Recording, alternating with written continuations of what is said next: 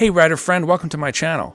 If you're new here, my name is James Hurst, and I'm a screenwriter, creator, and showrunner based in Toronto. Now, I'm no Shonda Rhimes, but I've been lucky enough to work on groundbreaking series like Degrassi The Next Generation, Being Erica, Flashpoint, Slasher, Hardy Boys, and Wynonna Earp. Even after 25 years in the industry, I'm still stoked about the art of screenwriting. But I didn't even realize how much I love working in a writing room until it was taken away during COVID. Like a lot of people, I found it hard to adjust to that isolation.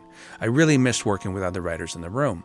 But there was one bright side. All that time at home gave me time to reflect. And I realized that, of course, I still love telling stories that are important to me, but what I love maybe even a little bit more is helping new and emerging writers tell the stories that are important to them. And that's the inspiration behind creating my website, screenright.net, and this YouTube channel. On this channel, I'm going to explore topics like how to create meaningful conflict, how to write a pilot script, which software to use, and a whole lot more. I'll be talking to other screenwriters to learn their secrets and explore the skill sets and tool sets they use.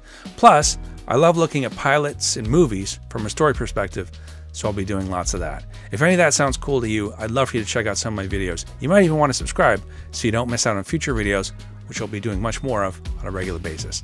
Thanks for watching, and I hope you enjoy the channel. Happy writing.